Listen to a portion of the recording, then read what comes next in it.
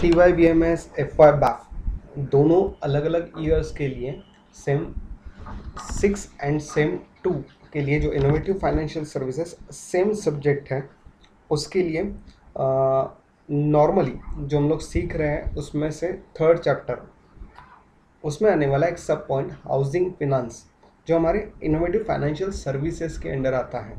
Housing finance एक तरह की फ़ी बेस्ड और फंड बेस्ड दोनों तरह के सर्विसेज़ में क्लासीफाई हो सकता है। ज़्यादातर इसे हम लोग फंड बेस्ड सर्विसेज़ में क्लासिफिकेशन करते हैं।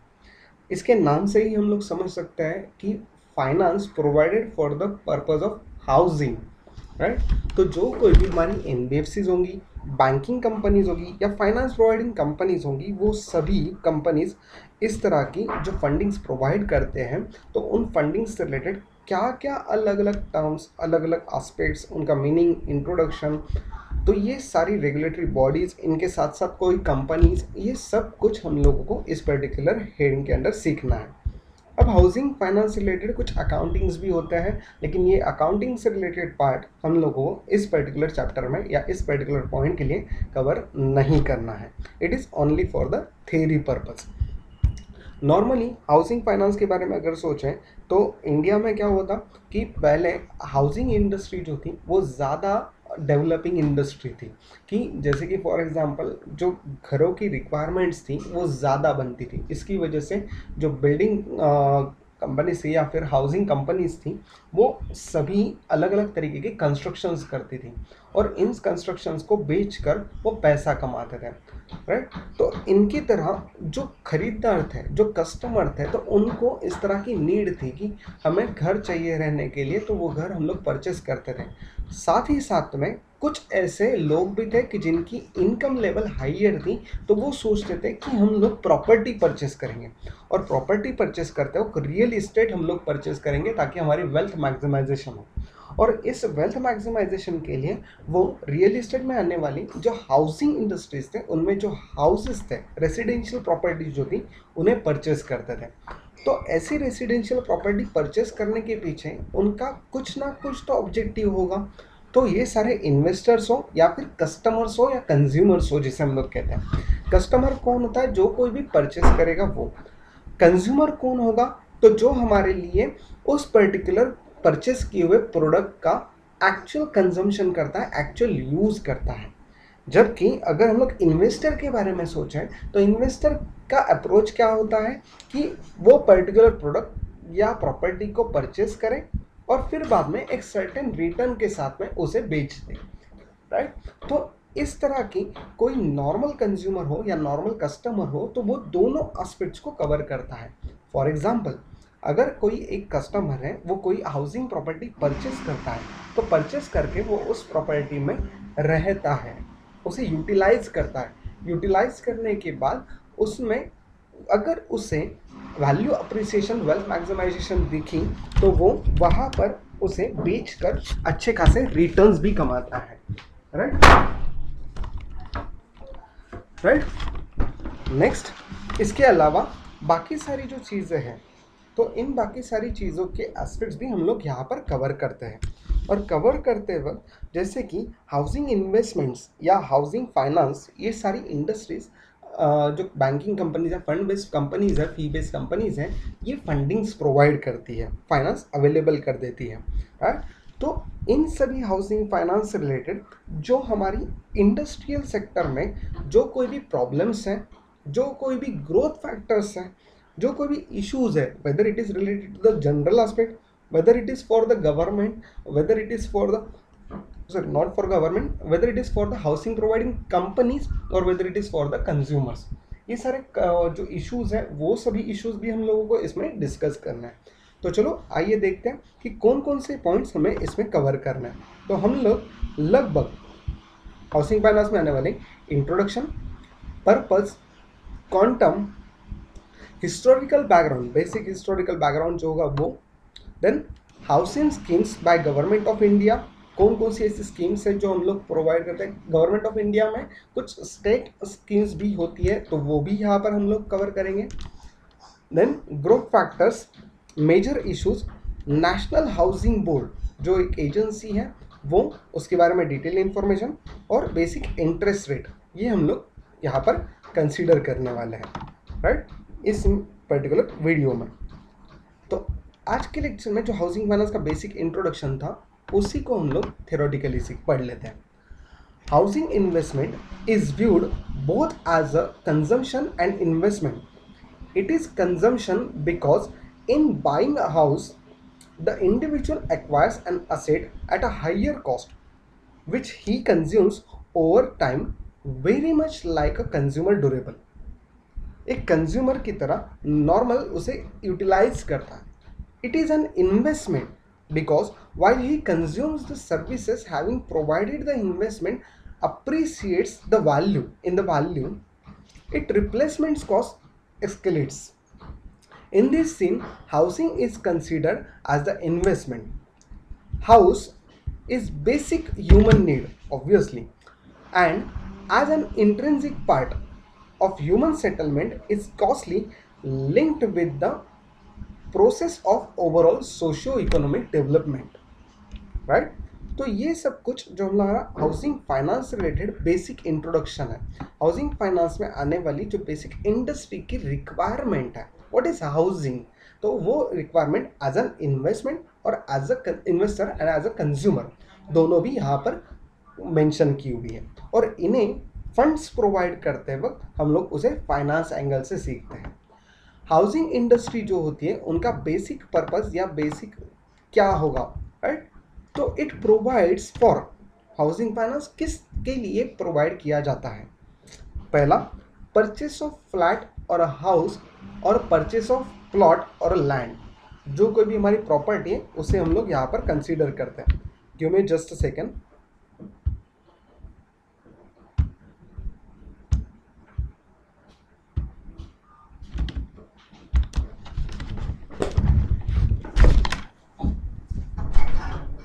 दरवाज़ा बाजूला मिक्सरचा आवाज़ नका करू.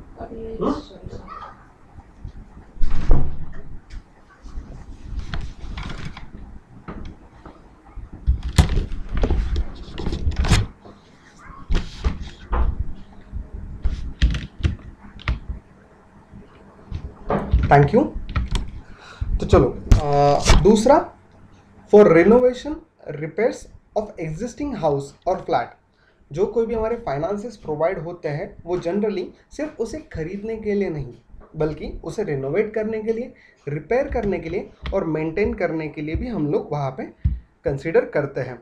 तो इस तरह के जो फाइनेंस प्रोवाइड होते हैं, ये सभी फाइनेंसेस साथ ही साथ में extending in an existing house extending का मतलब क्या? कि जो नॉर्मल बनाया हुआ घर होगा, उसे हम लोग रिनोवेट कर रहे हैं तो रिनोवेशन का मतलब होता है उसी पर्टिकुलर स्ट्रक्चर को रिनोवेट करना।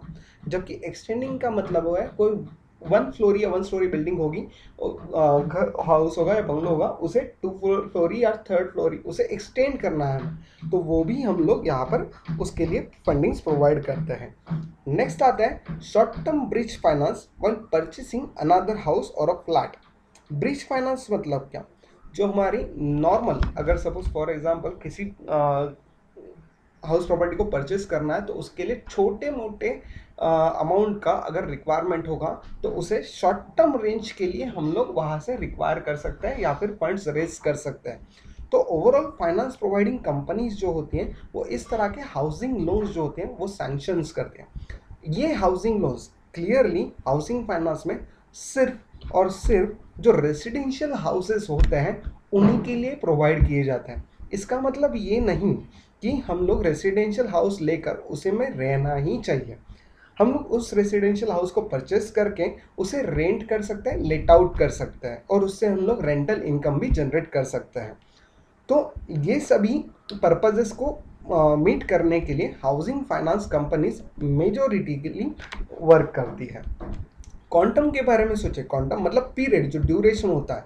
The quantum of loan varies from bank to bank bank to bank मतलब इनमें एन भी आती है। Normally bank stipulate the minimum of rupees one lakh and the maximum would depend on the bank and it could vary from the 10 lakhs to 2 crore or more. मतलब ज़्यादा से ज़्यादा, जित कम से कम एक लाख और ज़्यादा से ज़्यादा जितनी रिक्वायरमेंट होगी, जितना बैंक प्रोवाइड कर सकती है और जितनी कस्टमर की वहाँ पे एबिलिटी होगी टू रीपे उतनी अमाउंट का यहाँ पर लोन मिल सकता है। For repairs the amount is less that is around rupees ten lakhs only अब रिपेयर्स के लिए जैसे कुछ इंफॉर्मेशन जैसे कुछ आ, अलग अलग बैंक्स या फिर अलग अलग नॉर्म्स जो है वो आरबीआई के थ्रू जो मिले हैं उनके बेसिस पे एन और बैंकिंग कंपनीज़ दोनों भी रिपेयर्स के लिए ज़्यादा लोन भी सैंक्शन करते थे राइट जो मिनिमम अमाउंट होगी मिनिमम अमाउंट उसका कोई लिमिट नहीं है लेकिन टेन लैक्स तक का एक सैंक्शन लिमिट कुछ सालों पहले था अभी वो बढ़ चुका है राइट तो क्वांटम के बारे में सोचें तो जो रीपेमेंट होगा क्वांटम मतलब हमारी साइज़ हुई लोन के अमाउंट की साइज़ रीपेमेंट स्ट्रक्चर जो होता है, वो रीपेमेंट स्ट्रक्चर कस्टमर की क्रेडिट स्कोर बैंकिंग की रिक्वायर बैंकिंग या एनबीएफसी की रिक्वायरमेंट इनके बेसिस पे डिसाइड होता है. राइट नेक्स्ट नेक्स्ट जो है, वो है हमारे एक्चुअल में हाउसिंग फाइनेंस के बारे में, जो इंटरेस्ट रेट है, वो सब. अभी इन इंटरेस्ट रेट के बारे में हम लोगों को सबको पता है कि इंटरेस्ट रेट जनरली दो तरीके के होते हैं. एक फिक्स्ड इंटरेस्ट रेट और दूसरा floating interest rate fix interest rate होता क्या है? It is the entire tenure जितने भी साल के लिए हम लोगों ने लोन लिया होगा, उन सभी के लिए हमारा इंटरेस्ट रेट जो होगा, वो सिमिलर रहेगा सेम रहेगा. राइट उसके बाद में अगर हम लोग फ्लोटिंग के बारे में सोचें तो फ्लोटिंग इंटरेस्ट रेट जो हमारा चेंज होते रहता है ड्यूरेशन के साथ में तो फ्लोटिंग इंटरेस्ट रेट में और फ्लक्चुएटिंग इंटरेस्ट रेट में दोनों में ज़्यादा फ़र्क नहीं है. जब हमारे मॉर्गेज की वैल्यू होती है, उस मॉर्गेज की वैल्यू और साथ ही साथ में हमारा टेन ईयर पीरियड इनके साथ वो इंटरेस्ट वैरी होते चलता है। अगर मॉर्गेज की वैल्यू ज़्यादा होगी तो इंटरेस्ट रेट कम होगा। अगर मॉर्गेज की वैल्यू कम होगी तो इंटरेस्ट का रेट ज़्यादा रखना होगा। साथ ही साथ में जो गवर्नमेंट नॉर्म्स होता है, जो बैंकिंग नॉर्म्स होते हैं, उनमें अगर इंटरेस्ट रेट में कहीं पर कुछ चेंजेस हुए तो वो भी यहाँ पर चेंज हो सकते है। फॉर एडिशनल सिक्योरिटी गारंटी में भी टेकन जो गारंटी होती है मतलब नॉर्मली इंटरेस्ट रेट जब अप्लाई होता है तो उसके लिए लोन देते वक्त बैंकिंग कंपनीज़ वहाँ पे मॉर्गेज कहीं पर या फिर लोन अगेंस्ट प्रॉपर्टी सैंक्शन करती है। तो जो प्रॉपर्टी हम लोग खरीदते हैं, उसी को हम लोग मॉर्गेज करते हैं और साथ ही साथ में उस मॉर्गेज के अलावा अगर बैंक को लगा तो वहाँ पे वो किसी अदर पर्सन की गारंटी भी ले सकती है कि फॉर एग्ज़ाम्पल कि अगर हम लोगों ने लोन दिया है, वो प्रॉपर्टी में से पैसा भी रिकवर हुआ है, फिर भी हमारा complete entire loan amount recover नहीं हो पा रहा है। तो वी विल गारंट जो गारंटेड होगा, जो गारंटर होगा, उसकी जो प्रॉपर्टीज़ होगी, या उसे हम लोग वहाँ पे बाकी का बचा हुआ पैसा डिमांड कर सकते हैं अमाउंट डिमांड कर सकते हैं। नेक्स्ट पॉइंट है which is related to the historical background of the housing finance market in India अब हिस्टोरिकल बैकग्राउंड में हम लोगों ने उसे दो हिस्सों में क्लासीफाई किया हुआ है। पहला है प्री नेशनल हाउसिंग बैंक जो एन एच बी एस्टैब्लिश हुई थी उस एस्टैब्लिशमेंट से पहले और बाद एस्टैब्लिशमेंट के बाद में। ऐसे दो हिस्सों में हम लोगों ने हिस्टोरिकल बैकग्राउंड क्लासीफाई किया हुआ है, जिसको हम लोगों को सीखना है।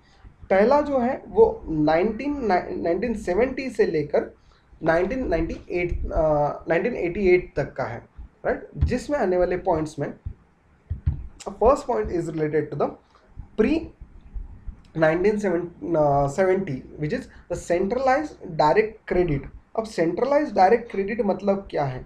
तो सेंट्रलाइज डायरेक्ट क्रेडिट ये हमारे ओवरऑल जो सेंट्रल गवर्नमेंट थी तो वो इस तरह की हाउसिंग इंडस्ट्रीज़ को या हाउसिंग कंपनीज़ को आ, अलग से फंडिंग्स प्रोवाइड करती थी या कस्टमर को डायरेक्टली क्रेडिट अवेलेबल करके देती थी। 1971 में हुडको की इस्टेब्लिशमेंट हुई। हुडको ये जो है हमारी ये एक हाउसिंग इंडस्ट्रीज़ डेवलपमेंट कॉरपोरेशन है ऑर्गेनाइजेशन है तो वो पब्लिक सेक्टर और होलसेल लेंडिंग के लिए काम करती है। पब्लिक सेक्टर मतलब क्या? तो जो नॉर्मली बड़ी आ, बड़ी गवर्नमेंट की जो स्कीम्स होती हैं वो स्कीम्स के साथ साथ अलग अलग जो रेसिडेंशियल प्रॉपर्टीज़ हैं उसे बिल्ड करती हैं और सेल करती है on behalf of governments right then 1977 में एच एच जो first private sector retail housing finance institution थी, उसका यहाँ पर एस्टेब्लिशमेंट हुआ।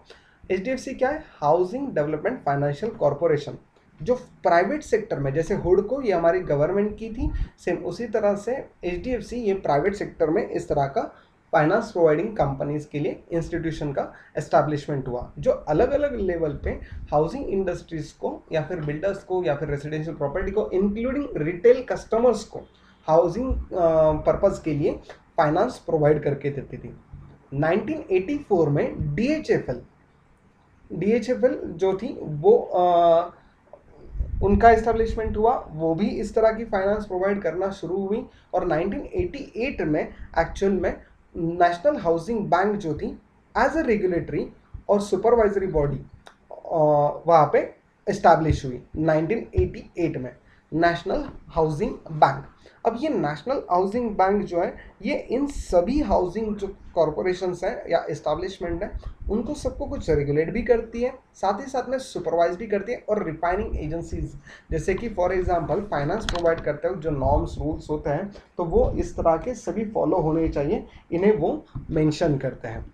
दूसरा जो पार्ट है, वो it is post national housing bank जब एस्टैब्लिशमेंट हुई, उसके बाद में राइट अर्ली नाइन्टीज़ में जो इस्टेब्लिशमेंट हुई, उसके बाद पब्लिक सेक्टर बैंक जो थी और इंश्योरेंस कंपनीज़ जो थी, वो हाउसिंग फाइनेंस कंपनीज़ को प्रमोट करने लगी राइट जैसे कि for example L housing finance then I C prudential के कुछ लोन्स मिले। इसके अलावा जो 1991 में लिबरलाइजेशन पॉलिसी आई तो इसकी वजह से आउटसाइडर जो कंपनीज़ थी, वो भी इसमें इन्वॉल्व हुई और इस तरह की फाइनेंस प्रोवाइड करना उन्होंने भी स्टार्ट किया। लास्ट नाइनटीन नाइन्टीज में कमर्शियल बैंक जो थी, वो कमर्शियल बैंक भी इसमें directly housing finance retail customers को लोन देने के लिए एक्टिव हुई। और इन्होंने क्या किया कि कमर्शियल बैंक्स मतलब जो हमारे नॉर्मल जिनका प्राइम बिज़नेस था lending and sorry accepting the deposits and lending the loans but ये लोन वो पर्सनल लोन प्राइवेट लोन इस तरह के लोन सैंक्शन करते थे बट उन्होंने 1990s के बाद में हाउसिंग लोन भी देना स्टार्ट किया, जो इससे पहले सिर्फ़ नेशनल हाउसिंग बैंक्स या फिर होल्डको या फिर एचडीएफसी ही करती थी। नेक्स्ट आते हैं 2008 के पास। 2008 में subprime crisis Indian mortgage market shows the resilience जो नॉर्मली 2008 में रिसेशन आया तो उस रिसेशन में जो रियल इस्टेट थी, वो रियल इस्टेट वहाँ पे जो सेक्टर था, वो अचानक से एक मंदी की ओर बढ़ता चला गया, या फिर एक स्लो डाउन की तरफ़ बढ़ता चल गया, जो 2008 से पहले ग्रोथ दिख रही थी रियल इस्टेट में, वो ग्रोथ अब देखनी बंद हो गई थी धीरे धीरे करते करते वो कम होती गई। 2009-2011 में micro finance institution and foreign banks get active in housing finance market 54 HFCs active in the market currently ऐसे नहीं है कि हमारे फ़िलहाल के लिए 2011 के लिए 11 तक 54 फोर थे हाउसिंग फाइनेंस कंपनीज़ थी। लेकिन अगर हम लोग 2021 की बात करें तो मोर देन 300 ऐसी हाउसिंग फाइनेंस कंपनीज़ हैं, जो कि इंडिया में अभी भी एक्टिव है, जो इस तरह के लोन्स प्रोवाइड करती थी। तो ये जो हाउसिंग फाइनेंस का हिस्टोरिकल बैकग्राउंड है, वो हमारे नेशनल हाउसिंग बैंक जो है, उसके बेसिस पे डिपेंड करता है। कि वो किस तरह से रेगुलेट करती थी, उनके जो रेट्स थे मार्केट्स से फाइनेंस प्रोवाइडिंग नॉर्म्स थे, वो सभी यहाँ पर मेंशन करते हैं। इसके अलावा अलग अलग जो स्कीम्स हैं अलग अलग जो कंपनीज़ हैं, उन अलग अलग कंपनीज़ को कुछ रेगुलेटरी बॉडीज हैं और वही रेगुलेटरी बॉडीज अलग अलग कंपनीज़ को रेगुलेट करती है। जैसे कि आरबीआई कुछ बैंकिंग कंपनीज़ को रेगुलेट करती है, कुछ इंश्योरेंस कंपनीज़ को अलग से एडा रेगुलेट करती है तो वो सभी भी हम लोग आगे चल के देखने ही वाले राइट ये हिस्टोरिकल बैकग्राउंड के बाद में हम लोग नेक्स्ट देखते हैं the housing schemes by government of India including the few states right ऐसी कौन कौन सी स्कीम्स थी? तो Jawaharlal Nehru national urban renewal mission जो कि दिसंबर 2005 में आई थी। The aim is to encourage the reforms and fast track plan development of identified cities it focuses to be on the efficiency in the urban infrastructure इन्होंने क्या किया? इस पर्टिकुलर स्कीम के अंडर अर्बन इंफ्रास्ट्रक्चर जो था, उसे develop करने पे ज़्यादा फोकस किया। और साथ ही साथ में जो सर्विस डिलीवरी मैकेनिज्म्स थी कम्युनिटी पार्टिसिपेशन था अकाउंटेबिलिटी थी वो सभी हाउसिंग एजेंसीज की, जो सिटीजन्स के लिए जो ज़िम्मेदारी होगी, उसे भी इस पर्टिकुलर स्कीम में मेंशन किया। ये स्कीम में अलग अलग तरीके फंडिंग्स अलग अलग डेवलपर्स को दिए गए। साथ ही साथ में कुछ रिटेल इन्वेस्टर्स को भी रिटेल बिल्डर रिटेल कस्टमर्स को भी वहाँ पे अलाउ किए गए। जिनकी वजह से अर्बन डेवलपमेंट जो होगा, वो फोकस में रहेगा। नेक्स्ट इंदिरा आवास योजना। इंदिरा आवास योजना, ये जो था, वो हमारा बेसिकली जो कैश की प्रोविज़न थी सब्सिडी स्कीम्स के लिए, वो rural below poverty line that is BPL families below poverty line families के लिए, वहाँ पे कंस्ट्रक्शन के लिए, वहाँ पे फंडिंग्स अवेलेबल करके देने के लिए ये स्कीम लाई गई थी। जिसमें जो स्कीम थी, वो scheme provided by the central and state in the ratio of 75 is to 25 central का जो हिस्सा था पर्टिकुलर रिक्वायरमेंट के लिए तो वो 75 परसेंट था और 25 परसेंट स्टेट वहाँ पे कंट्रीब्यूट करता था और फंडिंग्स अवेलेबल करके देते थे। नेक्स्ट आते हैं राजीव आवास योजना। अब राजीव आवास योजना में कुछ मॉडिफिकेशन करके यहाँ पर जो मॉर्गेज रिस्क थी जो हमारी इनका बेसिक एम क्या था राजीव आवास योजना में? जो मॉर्गेज गारंटी फंड्स थे, उन्हें, उनके लिए प्रोविज़न करके रखना, ताकि इकोनॉमिकली बैकवर्ड सेक्शन जो था इकोनॉमिकली वीकर सेक्शन जो था, या फिर एल आई हाउस होल्ड जो थे लोअर इनकम ग्रुप के जो हाउस होल्ड सेक्शन थे, उनको इनक्रेज करे कि उनके भी खुद के कुछ ओन प्रॉपर्टीज़ हो, और वो इस तरह के कुछ फाइनेंस फंडिंग्स या इनके बेनिफिट्स अवेलेबल करके वहाँ पे खुद के लिए मकान डेवलप करे या घर डेवलप करे और अपने अपने घरों में रहे राइट साथ ही साथ में वोल सिटी अप्रोच भी इसमें मेंशन किया गया था। वोल सिटी अप्रोच का मतलब है, जो कोई भी स्लम एरिया है, उस स्लम एरिया को रीडेवलप करके एस को रीडेवलप करके वहाँ पे अलग से वोल सिटी अप्रोच कंसिडर करना, वहाँ पे अच्छी खासी फैसिलिटीज़ अवेलेबल करके देना इंफ्रास्ट्रक्चर अवेलेबल करके देना for the housing purpose residential purpose right तो ये राजीव आवास योजना जो थी, वो इस पर्टिकुलर ऑब्जेक्टिव्स को लेकर काम करती थी। नेक्स्ट आते हैं हम लोग, ऐसी कुछ वाल्मीकि अंबेडकर आवास योजना है। तो सेंट्रली स्पॉन्सर्ड स्कीम है, जो ministry of urban development government of India जो है, वो जो हमारी स्लम है तो उन स्लम्स को यहाँ पर कंसिडर uh, करने के स्लम्स uh, को डेवलप करने के लिए फोकस करती थी राइट right? जो शेल्टर होगा तो स्लम्स के लिए या फिर uh, जो नॉर्मल हमारे जिनकी बिलो पॉवर्टी लाइन सेक्शन होगा उन सभी के लिए रहने के लिए जगह हो ऐसी कुछ हम लोग उनको अर्बन स्लम्स में जो वैल्यूज़ होती हैं उनको सबको हर एक पर्सन कोई भी जो रास्ते पे फुटपाथ पे रहता है या फिर जिनके पास घर नहीं है या फिर रेंटल पे रहता है तो उन सभी के लिए इनकरेज करने के लिए to purchase their own house तो छोटे छोटे मकान बनाए गए राइट तो छोटे छोटे मकान जो इजीली हम लोग परचेज कर सके और उसमें रह सके, इस तरह की वाल्मीकि अंबेडकर आवास योजना के अंडर सेंट्रल गवर्नमेंट क्या करती थी? तो फंडिंग्स अवेलेबल करके देती थी डिफरेंट डिफरेंट डेवलपर्स को। और वो developers on behalf of the government कुछ इस तरह के स्लम्स को रीडेवलप करते थे और रीडेवलप करके उन्हें वहाँ पे कुछ एडिशनल अमाउंट पे करके या फिर कुछ एडिशनल अमाउंट उनसे रिक्वायर करके उन्हें फंडिंग्स अवेलेबल करके देते थे और साथ ही साथ में रहने के लिए घर भी देते थे। राइट नेक्स्ट आते हैं, हम लोग interest subsidy scheme for the housing the urban poor urban poor मतलब क्या? कि जो कि अर्बन एरिया में रहते हैं, लेकिन वहाँ की जो additional income lower income group जो होते हैं, उनकी वजह से अगर सपोज़ उन्होंने घर परचेज भी कर लिया तो शायद इंटरेस्ट की वजह से उनका जो रेगुलर इनकम है, वो कम आएगा। तो उनमें इंटरेस्ट के लिए सब्सिडी देकर वहाँ पे इस तरह के सभी अलग अलग स्कीम्स वहाँ पे लाई गई। और इन स्कीम्स में अलग अलग तरीके के इंटरेस्ट की सब्सिडीज जैसे हम लोगों को गैस सिलेंडर की सब्सिडीज मिलती थी सेम उसी तरह से यहाँ पर हाउसिंग कंस्ट्रक्शन के लिए या फिर रिनोवेशन के लिए जो फाइनेंस हम लोग कलेक्ट करते थे या रेज करते थे on as a loan purpose as a loan तो वहाँ पे जो इंटरेस्ट पे करना पड़ता था, उसमें कुछ सेंट्रल गवर्नमेंट के थ्रू हमें छूट मिलती थी राइट तो it has sought to enhance the affordability of the urban poor, though the provision of an interest subsidy of a 5% per annum on a loan amount of up to rupees 1 lakh for the economically weaker sections only and lower income group in the urban areas for acquisition or construction of the houses.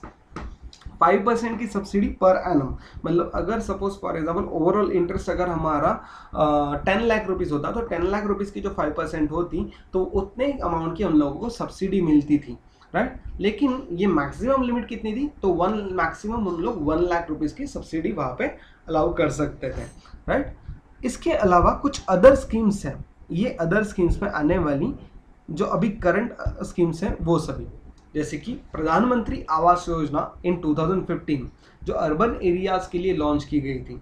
Then PM Gramin Awas Yojana launch in to 2015 जो ग्रामीण areas के लिए की थी। मतलब प्रधानमंत्री Awas Yojana urban areas के लिए।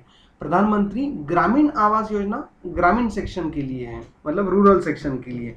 Then DDA housing finance schemes या हाउसिंग स्कीम्स जो रिकरिंग ईच ईयर के लिए दिल्ली गवर्नमेंट ने वहाँ पे लॉन्च की थी। Tamil Nadu housing board scheme recurring each year हर साल तमिलनाडु की गवर्नमेंट स्कीम आती है, जैसे कि माड़ा की लॉट महाराष्ट्र में माड़ा की लॉटरी स्कीम आती है। हर साल उसे हम लोग लाते हैं कि माड़ा ने क्या किया था कि माड़ा कुछ फंडिंग्स प्रोवाइड करती है, या फिर डेवलपर्स को अपॉइंट करती है, उनके टेंडर पास करती है, उन्हें फंडिंग्स प्रोवाइड करती है, या फिर उन्हें खुद को फैसिलिटीज़ प्रोवाइड करती है कि ताकि वो कंस्ट्रक्ट करें on behalf of the government और उनके बेसिस पे लॉटरी सिस्टम के थ्रू डिफरेंट डिफरेंट जो कस्टमर्स होते हैं, उन्हें वो पर्टिकुलर हाउसेस बिल्डिंग जो होती है, वो सेल करे और सेल किया हुआ पैसा गवर्नमेंट को मिलता था। इस तरह की जो अंडर स्कीम्स होती हैं तो दिल्ली गवर्नमेंट, तमिलनाडु, महाराष्ट्र, आंध्र प्रदेश इस तरह की अलग अलग कुछ स्कीम्स हैं अलग अलग स्टेट्स के लिए। तो वो भी यहाँ पर कंसिडर होती है। महाराष्ट्र के लिए आप लोगों ने महाड़ा के लिए सुना ही होगा राइट नेक्स्ट आते हैं हम लोग हाउसिंग फाइनेंस के बाद में या गवर्नमेंट स्कीम्स के बाद में that is growth factor housing finance industries या हाउसिंग फाइनेंस कंपनीज़ इन सभी के लिए अगर हम लोग ग्रोथ फैक्टर्स कंसीडर करें तो कौन से कौन से ग्रोथ फैक्टर्स होंगे? तो इसमें आते हैं हमारे सॉरी इतने सारे ग्रोथ फैक्टर्स हम लोग क्या क्या सीख रहे हैं? फिर से एक बार हम लोग ध्यान देते हैं। It is related to introduction purpose quantum interest rate historical background housing schemes India growth factors major issues then national housing bank तो इसमें आने वाले ग्रोथ फैक्टर अब लोग हम लोग देखने वाले हैं, जिसमें first loan are offered normally up to 85 percent of the cost of the property जितनी भी कॉस्ट होगी, उस कॉस्ट के 85 परसेंट तक का लोन वहाँ पे दिया जाता है। Second attractive tax benefits on housing loans are provided by the government specially in the last three years जो प्रीवियस थ्री ईयर्स हैं उनमें टैक्स बेनिफिट्स और साथ ही साथ में जो हमारे इंटरेस्ट बेनिफिट्स है, वो भी यहाँ पर गवर्नमेंट के थ्रू दिए जा रहे हैं। Right next interest rate have fallen to record at lowest rate making the loans very affordable जैसे कि मैंने कहा कि लोन लेने के लिए इंड्यूस करने के लिए हाउसिंग फाइनेंस इंडस्ट्री कस्टमर को अट्रैक्ट करने के लिए लोअर इंटरेस्ट रेट चार्ज करते हैं। Next lack of sustainable alternative investment avenues, especially with a poorly performing equity market. अब आज के तारीख में देखें तो इक्विटी मार्केट अच्छे खासे बूम लेवल पे चल रहा है मार्केट के लेवल पे चल रहा है। क्योंकि कोविड की वजह से जो कुछ भी हमारी इक्विटी मार्केट्स में डाउनफॉल आया था प्रीवियस ईयर वो अच्छे खासे रिटर्न के साथ वहाँ पर उभर रहा था। लेकिन कुछ ऐसे गिने चुने शेयर्स हैं कि जो अभी भी आउट परफॉर्म नहीं कर पा रहे हैं राइट तो उनके मुताबिक प्रीवियस ईयर को छोड़कर मतलब अप टू द ईयर 2019-20 तक जो अच्छा खासा डेवलपमेंट होता था तो उसमें इक्विटी मार्केट में जितना हमारा रिटर्न मिला, उससे ज़्यादा हमें प्रॉपर्टी में रिटर्न मिलते थे। तो लोग क्या सोचते थे कि इक्विटी मार्केट में इन्वेस्ट करने से अच्छा हम लोग प्रॉपर्टी में इन्वेस्ट करें। लेकिन आज की तारीख में अगर हम लोग देखें तो इन मुंबई, अगर हम लोग कहीं पर रेजिडेंशियल प्रॉपर्टी परचेज भी करते हैं तो आने वाले सेवरल ईयर्स में टेन टू ट्वेल्व ईयर्स में, अगर उनकी हम लोग वैल्यू अप्रिसिएशन देखें तो उतनी ज़्यादा नहीं होगी जो कि हमारी कंपैरेटिवली इक्विटी मार्केट में हो सकती है। साथ ही साथ में अगर देखा जाए तो अगर कोई असेट हम लोग परचेज भी करते हैं तो उसे विदाउट लोन अगर हम लोग परचेस करते हैं then it is okay but अगर हम लोग लोन लेकर परचेस करते हैं तो इंटरेस्ट के साथ रीपेमेंट जो होगा, वो ज़्यादा होगा. सपोज़ एग्ज़ाम्पल के लिए ट्वेंटी लाख रुपीज़ का हम लोग अगर कहीं पर एक प्रॉपर्टी परचेस करते हैं और उस प्रॉपर्टी के लिए लोन लिया हुआ है. और लोन रिपेमेंट करते हो तो हम लोगों ने दस साल का टेन्योर लिया हुआ है. तो 10 साल में हम लोगों ने जो इंटरेस्ट पे किया होगा मे बी 15 टू 20 लाख का इंटरेस्ट होगा। तो almost are property value will become the double 20 plus 20 जो हमारी कॉस्ट है, वो 40 लाख की हमारी तो कॉस्ट ही लगेगी। अगर हम लोग 20 साल के बाद में उसे सेल करने के लिए जाए तो एटलीस्ट हमें 40 लाख से ज़्यादा पेमेंट मिलना चाहिए, या ज़्यादा वैल्यू उसे मिलनी चाहिए। Suppose for example 45 lakh rupees में सेल हुआ। तो 20 लाख रुपए कमा के हम लोगों ने एक्चुअली सिर्फ़ फाइव लाख रुपीज़ गेन किया मतलब twenty five percent return gain किया in the twenty years comparatively हम लोग इक्विटी मार्केट में उससे ज़्यादा गेन कर सकते हैं on an average right next आता है point number five that is real estate rates have remain stagnant और decline since the 1995 right Hence, the inflation adjusted cost of urban housing has fallen considerably over the last few years. Making housing much more affordable जो कि rates है, वो rates कम होते होते, अब एक स्टैगुलेशन पे आ गए हैं कि इससे ज़्यादा कम नहीं होने वाले और ज़्यादा बढ़ भी नहीं सकते राइट तो जो ग्रोथ फैक्टर्स में लोग इसे कंसिडर कर सकते हैं। पॉइंट नंबर सिक्स है the deregulation of the sector has brought in many new players including banks which has help widen the range and the reach of the products offered comparatively जो हमारी competition है, वो competition बढ़ने की वजह से obviously interest rate कम हो है। एडिशनल जो डिफरेंट डिफरेंट बेनिफिट्स के साथ में लोन प्रोडक्ट्स अवेलेबल हुए, उसकी वजह से भी हमारी हाउसिंग फाइनेंस इंडस्ट्री जो है, वो अच्छी खासी ग्रोथ कर रही है। Demographic and socio economic changes such as nuclear families urbanization greater mobility amongst the young professionals and mindset that does not view the debt as a bad thing पहले क्या होता था कि लोन लेना क्रेडिट कार्ड यूज़ करना या फिर किसी से उधार मांग के पैसे लेकर फिर हमारे घर का वहाँ पे कंस्ट्रक्शन करना, ये अच्छा नहीं माना जाता। लेकिन फ़िलहाल के लिए क्या हुआ है? अभी माइंडसेट किस तरह से बना हुआ है सबका? कि हम लोग रहेंगे तो अलग रहेंगे। अलग रहेंगे तो अलग घर होना चाहिए। अलग घर होना चाहिए तो उसके लिए हम लोगों को लोन लगेगा। लोन लेकर हम लोगों को रिपेमेंट करना है तो रिपेमेंट करने के लिए हम लोग हमारी इनकम लेवल बढ़ाएँगे। लेकिन हम लोग, हमारे खुद के लिए जो हमारे माइंडसेट्स हैं, उन्हें चेंज नहीं करेंगे। तो इसकी वजह से अच्छी खासी सेल्स मतलब एक फैमिली में एक जॉइंट फैमिली जो एक घर में रहती थी, वो अलग अलग घरों में रहने लगी, जिसकी वजह से परचेसिंग या फिर हाउसिंग डेवलपमेंट ज़्यादा हो गई। Next point number eight which is related to fifty percent of the Indians do not have pukka housing पक्का मतलब जो हमारा कंस्ट्रक्टेड हाउस था। So the demand for the homes will take a long time to reach the saturation level अभी तक भी खुद का जो घर है मतलब ओन हाउसेज जो है, वो more than fifty percent Indians जो है, उनके पास में खुद का घर नहीं है राइट तो ऐसी जो सैचुरेशन है कि आने वाले ज़माने में घर सबके पास में घर हो गया और किसी को घर लेना ही नहीं है अभी, ऐसी सिचुएशन अभी फ़िलहाल के लिए तो आने वाले सेवरल ईयर्स में तो बिल्कुल नहीं आने वाली। तो हाउसिंग इंडस्ट्री में इस तरह की लोन फाइनेंसिंग कंपनीज़ जो है, वो प्रोवाइडिंग कंपनीज़ जो है, वो इस तरह की सेक्टर्स में अच्छे खासे रिटर्न्स कमा सकती है इनकम कमा सकती है next only an estimate 20% of the homes in urban areas are financed through the loans. Over the next decade, penetration is expected to reach the close to 50% only. मतलब 20 परसेंट अभी भी urban areas में loan के through लिए हुए घर से जो ज़्यादा से ज़्यादा 50 परसेंट तक जा सकते हैं राइट कब आने वाले नेक्स्ट डिकेड्स में डिकेड्स मतलब सिक्स थर्ड अभी ट्वेंटी ट्वेंटी चल रहा है तो ट्वेंटी फिफ्टी या ट्वेंटी सिक्सटी तक के लिए हम लोग ये कंसिडर कर सकते हैं। तो उस, उन पर्टिकुलर फोर्टी ईयर्स के लिए भी हमारे पास में बहुत ज़्यादा अच्छा खासा मुनाफा कमाने का चांस है आज an finance providing companies then fourth sorry last point the other initiative the other initiative like the development of the market for a securitization of a loan will provide more funding option for the housing finance companies. Housing finance companies के लिए securitisation क्या होता है? Securitisation ये concept हम लोगों ने इससे पहले सीखी है इसी सब्जेक्ट के लिए। अगर आप उसे भूल चुके हो तो आप प्रीवियस कुछ वीडियोस में चेक कर सकते हो जिसमें सिक्योरिटाइजेशन हम लोगों ने अच्छे खासे से सीखा था, अच्छे तरीके से सीखा था। राइट तो सिक्योरिटाइजेशन के through housing finance company funds raise करके उसे अगेन लोन प्रोवाइड्स कर सकती है। राइट तो इन सभी ग्रोथ फैक्टर्स को कंसीडर करके हम लोग नेक्स्ट पॉइंट पे आते हैं which is related to the major issues अब मेजर इश्यूज़ डिस्कस करने से पहले मेजर इश्यूज़ डिस्कस करने से पहले जो डिफरेंट इंस्टीट्यूशंस हैं, जो हमारी हाउसिंग फाइनेंस प्रोवाइड करती हैं, इसे हम लोग एक ओरली सीख लेते हैं।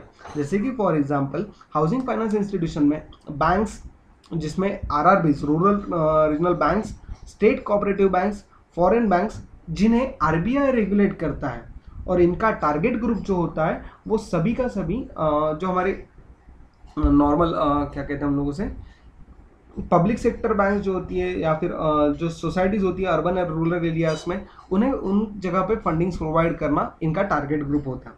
दूसरा हाउसिंग फाइनेंस कंपनी जो होती है, जिन्हें नेशनल हाउसिंग बैंक जो है हमारी, वो रेगुलेट करती है। ये हाउसिंग फाइनेंस कंपनीज़ जैसे कि for example D H F L H D F C B N P Paribas Paribas then Sundaram then Religare housing financing then Reliance housing finance इसके अलावा जो हमारी India Bulls housing finance companies हैं, इस तरह की अलग अलग जो हाउसिंग फाइनेंस कंपनीज़ हैं, इन्हें नेशनल हाउसिंग बैंक रेगुलेट करता है। Insurance company LIC housing finance है general insurance corporation housing finance companies है। इस तरह की जो एल आई सी कंपनीज़ है इंश्योरेंस कंपनीज़ है, जो इस तरह के हाउसिंग फाइनेंस प्रोवाइड करते हैं, इन्हें ईडा रेगुलेट करती है। Insurance regulatory development authority India right तो वो रेगुलेट करती है। माइक्रो फाइनेंस इंस्टीट्यूशन को जो होती है, वो कंप्लीटली अनरेगुलेटेड होती है, जिसे कोई भी रेगुलेट नहीं करता है, जो पुअर या लोअर इनकम सेगमेंट्स को माइक्रो हाउसिंग फाइनेंस प्रोवाइड करती है राइट डेवलपमेंट फाइनेंशियल इंस्टीट्यूशंस जो हमारी रिज़र्व बैंक है वो इसे कंसिडर uh, करती है इसे रेगुलेट करती है। जैसे कि फॉर एग्जांपल हुडको नाबार्ड सिडबी।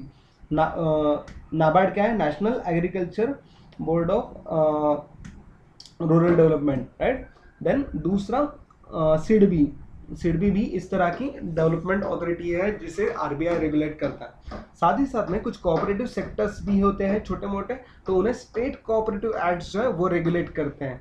जिन्हें नॉर्मल जैसे कि for example apex cooperative housing finance federation state cooperative agriculture and rural development banks इसके अलावा जो स्टेट कोऑपरेटिव सोसाइटीज होंगी, जो फाइनेंस प्रोवाइड करती होंगी इस तरह के हाउसिंग तो उन्हें उस पर्टिकुलर स्टेट के जो कोऑपरेटिव सोसाइटीज एक्ट होंगे कोऑपरेटिव एक्ट्स होंगे, वो वहाँ पे गवर्न करते हैं। तो इस तरह की अलग अलग रेगुलेटरी बॉडीज जो है, वो यहाँ पर हम लोग ध्यान में रखना है कि कौन कौन सी बॉडीज किस किस के लिए गवर्न करती है। नेक्स्ट आता है मेजर इश्यूज़ के लिए। मेजर इश्यूज़ में आने वाले डिफरेंट डिफरेंट इश्यूज़ इसमें general problems of housing finance sector in India general problems में आने वाले कुछ प्रॉब्लम्स जैसे कि फॉर एग्जांपल पहले आठ प्रॉब्लम्स उसमें आने वाले हमारा फ़र्स्ट पॉइंट जो है, वो है government policies for housing finance sector government policies for housing finance sector इसमें क्या होता है कि नॉर्मली प्रॉब्लम्स में अगर हम लोग कंसिडर करें तो गवर हाउसिंग फाइनेंस जो होता है, उसके लिए अलग अलग कंपनीज़ जो है रेगुलर जो डिफरेंट डिफरेंट कंपनीज़ जो अभी हम लोगों ने पहले देखी, पहले सुनी अभी तो उन सभी कंपनीज़ के लिए गवर्नमेंट की जो पॉलिसीज़ है, जो रूल्स है रेगुलेशंस है नॉर्म्स हैं, वो ज़्यादा स्ट्रिक्ट होते हैं राइट जैसे कि फॉर एग्जांपल 1991 1991 के बाद में जो कोई भी मिडिल इनकम ग्रुप थे, उनके पॉपुलेशन जो थी, उन्हें बहुत ज़्यादा सफ़र करना पड़ा to own their own house right क्योंकि उनके पास में पैसा तो था लेकिन सॉरी कंस्ट्रक्शन करने के लिए ज़मीन तो थी लेकिन कंस्ट्रक्शन करने के लिए पैसा नहीं था। और जो पहले रूल थे वो रूल ज़्यादा डिफ़िकल्ट थे। तो वहाँ पे इस तरह के कुछ रूल्स की वजह से आ, अलग अलग प्रॉब्लम्स वहाँ पे हाउसिंग फाइनेंस सेक्टर्स को वहाँ पे फेस करने पड़े right next role of housing finance regulatory authority जो जनरल प्रॉब्लम्स हैं, उसमें आने वाले रोल में जो finance regulatory H F H F R A होंगी, जो फाइनेंस रेगुलेटरी अथॉरिटी होंगी, उन सभी के लिए जो रेगुलेटरी बॉडी है, वो डिफरेंट डिफरेंट रेगुलेटरी बॉडी जो इंस्टीट्यूशंस हैं, वो फाइनेंस सेक्टर की कंट्री के हिसाब से जो डेवलपमेंट होगी, उनके लिए sound healthy and sustainable financing system लाने के लिए रूल्स बनाती हैं। तो वो रूल्स भी कभी कभी स्ट्रिक्ट होते हैं, जिसकी वजह से हाउसिंग फाइनेंस सेक्टर जो होता है वो जो सिग्निफिकेंट या फिर आ, कहते हैं एडवांटेज होता है कि नेशनल हाउसिंग फंड के तो उसके लिए अलग से कुछ यूटिलाइजेशन नहीं ले पाता है राइट तो उन रेगुलेटरी बॉडीज़ की वजह से कुछ कुछ कंस्टेंट्स जो आते हैं तो उनमें भी हम लोगों के इश्यूज़ वहाँ पे कंसिडर होते हैं। राइट जो रोल है हाउसिंग फाइनेंस रेगुलेटरी अथॉरिटी का, वो भी ज़्यादातर मेंशन नहीं होता है या फिर ज़्यादा स्ट्रिक्ट करके भी उस तरह के रूल्स फॉलो नहीं होते, वो भी इसकी वजह से मेजर इश्यूज़ वहाँ पे फेस करने पड़ते हैं इन सभी इंडस्ट्रीज़ को। थर्ड पॉइंट है development of fundamental infrastructure for housing and technological innovations जो फंडामेंटल इंफ्रास्ट्रक्चर होगा या for housing and technological innovations वो सभी हमारे यहाँ पे थोड़े कम हैं। इसकी वजह से भी, जैसे कि for example water supply proper drainage इसके अलावा इलेक्ट्रिसिटीज़ ये सभी जो चीज़ें हैं, जो बेसिक इंफ्रास्ट्रक्चर के लिए हाउसिंग डेवलपमेंट के लिए इंपॉर्टेंट होते हैं, उनके लिए प्रॉपर प्लानिंग नहीं होती है। तो उसकी वजह से भी हाउसिंग फाइनेंस इंडस्ट्रीज़ को वहाँ पे अच्छे खासे रिटर्न्स नहीं मिल पाते या अच्छे खासे जो डिमांड है, वो नहीं गेन हो रही है। Next point number four which is related to the distribution of a national capital among the population national capital among the population जो ओवरऑल कैपिटल कलेक्ट होता है जो फंडिंग्स कलेक्ट होती हैं, उनको डिस्ट्रीब्यूट करने के लिए जो गवर्नमेंट अलग अलग पॉलिसीज़ बजट्स में डिक्लेयर करती हैं तो उन्हें प्रॉपरली डिस्ट्रीब्यूट किए जाने किया नहीं जाता। उनमें अलग अलग जो मैकेनिज्म्स में या फिर टेक जो हमारी प्रोसीजरल वर्क्स हैं, उनमें वो डिले होता है या फिर प्रॉपर डिस्ट्रीब्यूशन नहीं होता है या फिर उनके लिए अलग अलग तरीके के प्रॉब्लम्स फेस होते हैं। जैसे for example if the capital of the nation is distributed among the population in a rational manner the most of the population of the country will be in the position to dream their own houses. अगर अच्छे से वहाँ पे plan किया गया कि national capital जो कोई भी इस पर्टिकुलर सेक्टर के लिए बजट किया जाता है तो वो हर एक तक पहुँचा, पहुँचाया जाए सही सही तरीके से तो मे भी हर एक के पास में रहने के लिए घर हो सकता है। Then non availability of funds non availability of funds कैसे होगा? तो जो लॉन्ग टर्म इन्वेस्टमेंट्स होती हैं जो रिक्वायर्ड होती है इस तरह की फंड्स को जनरेट करने के लिए, वो अगर अवेलेबल नहीं होगी लॉन्ग टर्म कैपिटल के लिए इन्वेस्टमेंट के लिए अवेलेबल नहीं होगी तो ट्रेडिशनल फंड्स के साथ कितनी हम लोग डेवलपमेंट कर सकते हैं? तो ज़्यादा डेवलपमेंट नहीं हो सकती है। तो जो कोई भी फंड्स हमारे पास में होते हैं, उन्हें अच्छे से चैनलाइज करना, उन्हें इन्वेस्ट करना, उनसे रिटर्न लेना, और साथ ही साथ में सिक्योरिटाइजेशन का यूज़ करके हम लोग बाद में उसे रीफंड्स रीजनरेट कर सकते हैं या फंड्स अवेलेबल करके दे सकते हैं, लेकिन ऐसा नहीं होता है। तो इन तरह के भी कुछ प्रॉब्लम्स वहाँ पे मेजर इश्यूज़ वहाँ पे आते हैं जनरल प्रॉब्लम्स में। High cost of acquisition of land obviously जो कीमतें हैं वो बहुत ज़्यादा बढ़ चुकी है, इसकी वजह से जो इन्वेस्टमेंट कॉस्ट या फाइनेंस प्रोवाइडिंग फंड्स प्रोवाइडिंग है, वो सभी ज़्यादा होने की वजह से लोग अब ज़्यादा इस तरह की इन्वेस्टमेंट्स नहीं करते हैं। कुछ ऐसे हैं static culture of the society कि लोग सोचते हैं कि हम लोग सब लोग साथ में ही रहेंगे न्यूक्लियर फैमिलीज़ की तरह अभी तक नहीं रहेंगे। कुछ कुछ ऐसी भी डेवलपमेंट्स है। अगर हम लोग स्लम एरियाज़ में हो या फिर हमारे रूरल एरियाज़ में देखा जाए तो वहाँ पे इस तरह की जो इंफ्रास्ट्रक्चर डेवलपमेंट्स होते हैं, वो उन डेवलपमेंट्स को जनरली लोग या वहाँ पे रहने वाली जो सोसाइटी होती है, वो अपोज करते हैं कि नहीं, इस तरह की डेवलपमेंट हमें नहीं चाहिए, हम जैसे हैं वैसे खुश हैं तो वो भी प्रॉब्लम्स यहाँ पर हम लोगों को फेस करने पड़ते हैं। Then slow progress of housing cooperative movement in India housing cooperative movement मतलब क्या? तो हाउसिंग एक्टिविटी जो इजीली प्रमोट हो सकती है राइट जो ग्रुप्स में बनाया जा सकती है। साथ ही साथ में जो फाइनेंशियल प्रॉब्लम्स हैं, वो कंफर्टेबली सॉल्व हो सकती हैं। जो हमारी national cooperative housing federation of India है N C H F right जो हमारी 1969 में एस्टैब्लिशमेंट एस्टैब्लिश हुई थी to administrative control of the ministry of urban development and poverty alleviation जो थे, उनके बेसिस पे जो ये डेवलपमेंट हुई थी, उनके ऑब्जेक्टिव क्या थे? To promote develop coordinate and guide the activities of the housing cooperative societies in the country right but इस तरह की कोई भी एक्टिविटीज़ या फिर उनकी जो कोऑपरेटिव हाउसिंग फाइनेंस एन जो है, उनकी तरफ़ से एक्टिवली पार्टिसिपेशन नहीं हो रहा है। उनकी जो प्रोग्रेस है वो बहुत कम हो रही है। तो उसकी वजह से भी मेजर इश्यूज़ वहाँ पे हमें फेस करने पड़ते हैं। नेक्स्ट आते हैं problems face by the housing finance companies housing finance companies जो फाइनेंस प्रोवाइड करती है, ऐसी कंपनीज़ ये कंपनीज़ इनके लिए क्या क्या फैक्टर्स कंसिडर होंगे? पहला mushroom growth of the housing finance agencies right जो पिछले दस बीस साल है तो वहाँ पे अलग अलग फाइनेंशियल इंस्टीट्यूशन जो है, वो रजिस्टर हुई। अलग अलग बैंक्स रजिस्टर हुई अलग अलग कोऑपरेटिव सोसाइटीज रजिस्टर हुई, जिनकी वजह से कंपटीशन बढ़ी। द इंडियन गवर्नमेंट जो थी, वो हाउसिंग डेवलपमेंट एक्टिविटीज़ को प्रमोट कर रही है, साथ ही साथ में पॉसिबल एड्स जो है फाइनेंस है, वो भी प्रोवाइड कर रही है।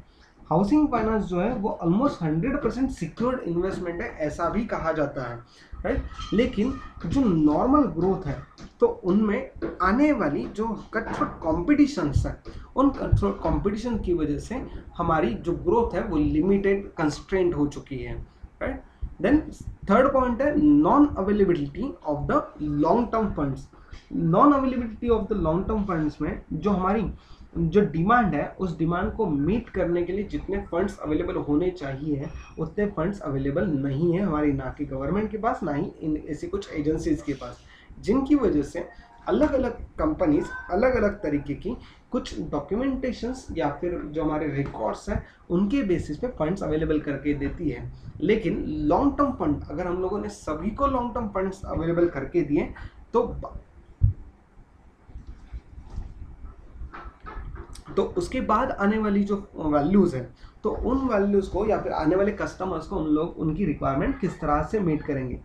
जो रूलिंग नेशनल हाउसिंग बैंक है तो उन्हें हम लोग को रिवाइज करना होगा तो लिबरल वे में रिवाइज करना होगा, जो कि हमारी हाउसिंग फाइनेंस एजेंसीज को हेल्पफुल रहे। लेकिन इस तरह के प्रॉब्लम्स हम लोग वहाँ पे फंडिंग्स के बेसिस पे वहाँ पे फेस कर रहे हैं। देन हाउसिंग फाइनेंस कंपनी जो है, वो अभी भी ट्रेडिशनल मार्केटिंग नेटवर्क जो है उनका, उसी को फॉलो कर रही है। जो मॉडर्न नेटवर्क है, उसे फॉलो नहीं करती है। उसकी वजह से भी मेजर इश्यूज़ वहाँ पे आते हैं। जैसे कि जो अदर रिटेल लोन्स होता है अदर रिटेल लोन्स के लिए जिस तरह से इंड्यूस किया जाता है परचेस करने के लिए, उसी तरह से वहाँ पे परचेस नहीं होता है।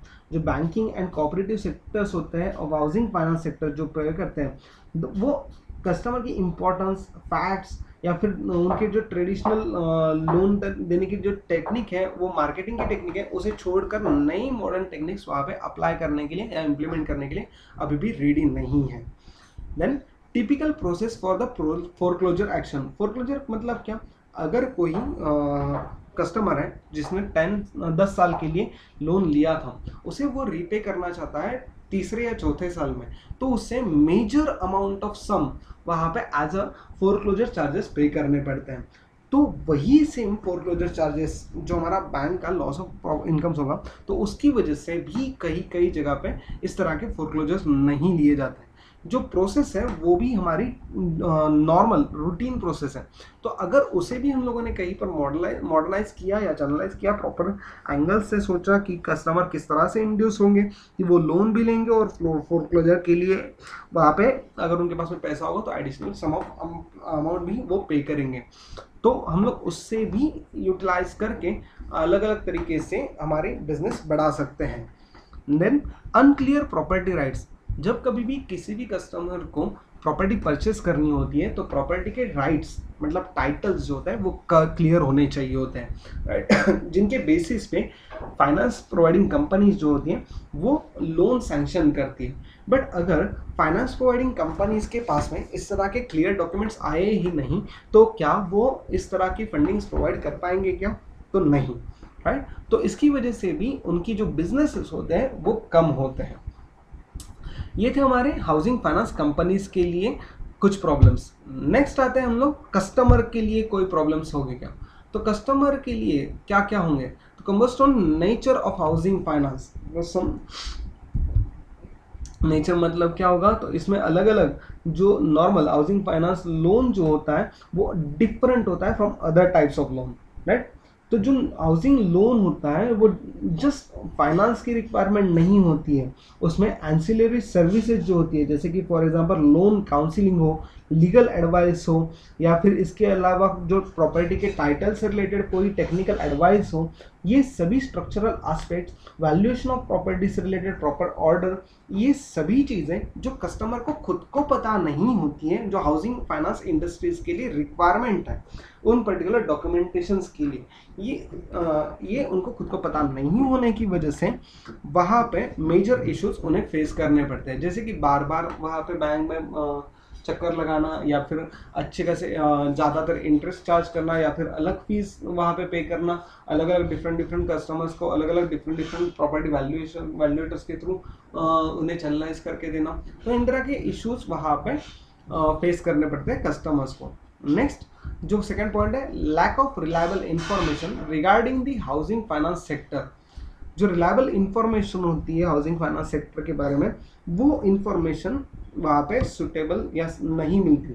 जो नॉर्मली कभी कभी देखा जाता है तो बिल्डर कहता है कि हमारे बिल्डिंग को एनओसी मिल चुका है नो ऑब्जेक्शन सर्टिफिकेट मिल चुका है क्लियरेंस मिल चुका है, हम लोग उसे सेल कर सकते हैं। लेकिन बाद में पता चलता है कि उन्होंने इकोनॉमिक जो रूल्स थे नॉर्म्स थे, उन्हें वायलेट किया है या फिर कंस्ट्रक्शन प्रॉपर नहीं किया था एनओसी प्रॉपर मिला ही नहीं था।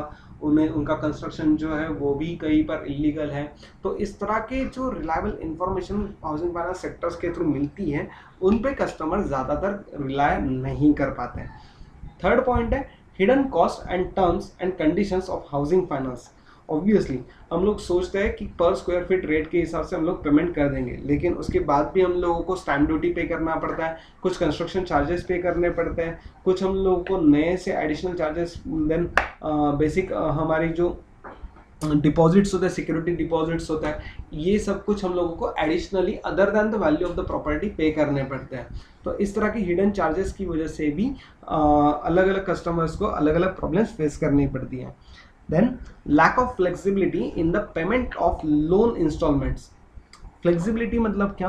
लोन इंस्टॉलमेंट्स पे करते वक्त जो इक्वल मंथली इंस्टॉलमेंट्स जनरेट होते हैं तो उन मंथली इंस्टॉलमेंट्स को टाइम टू टाइम पेमेंट करना या फिर उनके लिए थोड़ी सी फ्लेक्सिबिलिटी ऑफ़र करके देना। जैसे कि अभी कोविड स्टेट में आप लोगों ने देखा होगा कि शुरुआत के कुछ दिनों में जब two thousand twenty twenty twenty के अप्रैल से लेकर 2020 जुलाई, अगस्त तक जो हाउस हाउसिंग लोन थे तो उन हाउसिंग लोन के जो ई e थे तो कस्टमर्स के जो ई e थे तो वो बैंकिंग और नॉन बैंकिंग फाइनेंशियल कंपनीज़ जो थी तो उनको सबको ऑर्डर दिए गए थे गवर्नमेंट के थ्रू कि इस तरह के जो ई e अगर डिले हुए तो उनके ऊपर कोई भी एक्शन ना लिया जाए करके।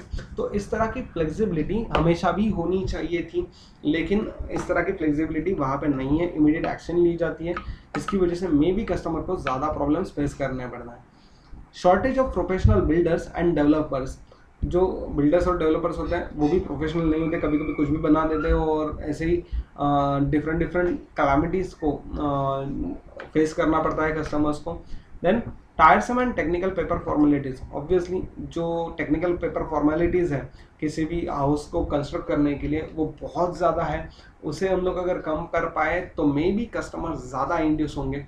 साथ ही साथ में fluctuating home loan interest rate आज के ज़माने में फिक्स इंटरेस्ट रेट जनरली कोई ऑफ़र नहीं करती है। सभी बैंकिंग और नॉन बैंकिंग फाइनेंशियल कंपनीज़ ज़्यादातर fluctuating income interest rate apply करती है, जिनकी वजह से मेजर फ्लक्चुएशन इंटरेस्ट में होते हैं।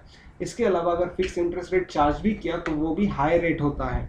Insufficient amount of housing finance खुद के पास भी जो लिमिटेड अगर बैंक प्रोवाइड करती है तो bank seventy two eighty five percent according to the property valuation पे करती है amount as a housing finance but remaining fifteen to thirty percent जो अमाउंट रिक्वायरमेंट होती है वो भी अगर किसी कस्टमर के पास में नहीं होगी तो वो इस तरह की फैसिलिटीज़ को यूज़ नहीं कर पाता है।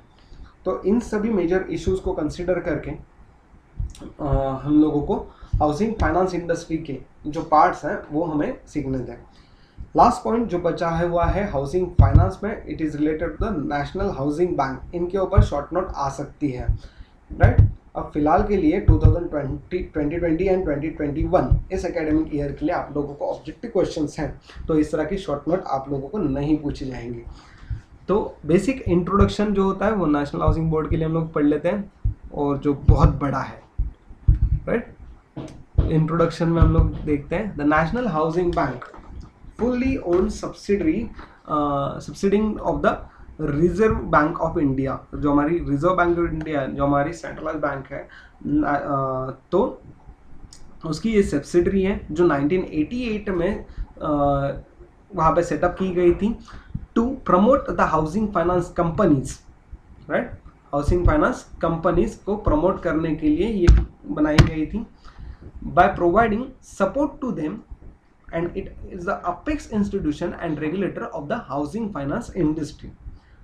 The subgroup of housing finance for the seventh five-year plan 1985 to 1990 identified the non-availability जो हमारी अवेलेबिलिटीज थी तो उनके बेसिस पे सॉरी जो हमारी एन एच बी है इस फिफ्थ ईयर प्लान जो था सॉरी फाइव ईयर प्लान जो था सेवेंथ फाइव ईयर प्लान उसमें इसे इनिशिएट किया गया था हुँ?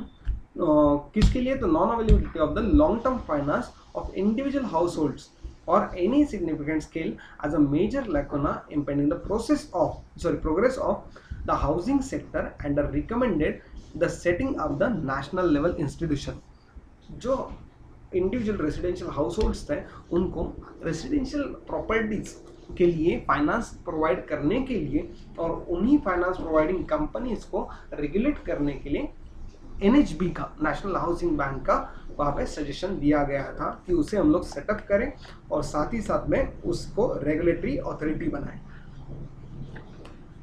नेशनल हाउसिंग पॉलिसी जो 1998 1988 में आई थी, उन्होंने एनएचबी को अपेक्स इंस्टीट्यूशन बनाया। साथ ही साथ में 9 जुलाई 1990 1988 को नेशनल हाउसिंग बैंक एक्ट जो बना था 1987 में, उसके बेसिस पे इनकी इस्टेब्लिशमेंट हुई। National Housing Bank is wholly owned by the Reserve Bank of India subsidiary है, लेकिन वोनली ओन्ड है which contributed the entire paid up capital जो पेडअप कैपिटल है, वो कंप्लीटली पेडअप कैपिटल है। कहीं पर वहाँ पे बोरोड कैपिटल है ही नहीं। Right the general general superintendence direction and management of the affairs and business of NHB West under the act in the board of directors. जो हमारे बोर्ड ऑफ़ डायरेक्टर्स होंगे तो वो NHB एक्ट जो है हमारा एन एच एक्ट 1987 उसके under in सभी से रिलेटेड जो कंपनी के रूल्स रेगुलेशंस या फिर उनकी जो अथॉरिटीज है, वो सभी वहाँ पे मेंशन की गई हैं, जिसमें अकॉर्डिंग टू रिक्वायरमेंट बाद में चेंजेस भी किए गए हैं। द हेड ऑफ़िस जो है, वो न्यू दिल्ली में सेटअप है और इनके ऑब्जेक्टिव जो थे नेशनल हाउसिंग बोर्ड के ऑब्जेक्टिव जो है, वो कुछ इस तरह से हैं।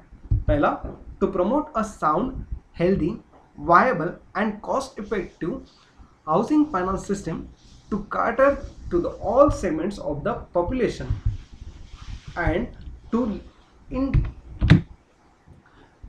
and to integrate the housing finance system with overall financial system and second objective क्या था? To promote a network of dedicated housing finance institution to adequately serve the various regions and different income rules जो institution है, जो provide कर सकती है इस तरह के फाइनेंस उन्हें सबको यूनाइट करना और साथ ही साथ में एडिक्वेट फाइनेंस उन सभी डिफरेंट इनकम ग्रुप्स को अवेलेबल करके देना, ये सेकेंड ऑब्जेक्टिव था। देन थर्ड ऑब्जेक्टिव क्या है? जो रिसोर्सेस है, जो हमारे फंडिंग हाउसिंग फाइनेंस के लिए जो रिसोर्सेज हैं, उन सभी रिसोर्स को प्रॉपरली चैनलाइज करना फॉर हाउसिंग पर्पज साथ ही साथ में जो क्रेडिट हम लोग देने वाले हैं, वो उन्हें अफोर्डेबल प्राइस पे अवेलेबल करके देना, ये यहाँ पे एन के नेक्स्ट ऑब्जेक्टिव्स बनते थे. ऑब्जेक्टिव नंबर फाइव में वहाँ पे बोला था कि to regulate activities of housing finance company based on the regulatory and supervisory authorities derived under the act. जो रेगुलेटरी और सुपरवाइजरी अथॉरिटी होगी अंडर द एक्ट जो कोई भी होगी, उसे हम लोग रेगुलेट करेंगे, साथ ही साथ में उनके लिए हम लोग रूल्स एंड रेगुलेशन बनाएँगे। नेक्स्ट पॉइंट जो था, वो था to increase the augmentation of supply of a buildable land and also building material for housing and to upgrade the housing stock in the country जो कोई भी हाउसिंग स्टॉक है वो हाउसिंग स्टॉक मतलब क्या?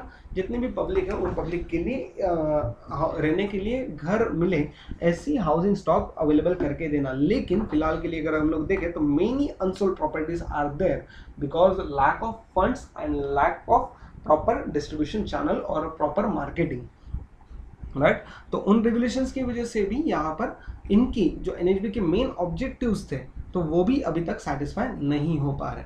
Then to encourage the public agencies to emerge as a facilitators of, and the suppliers of the service land or a housing, for housing.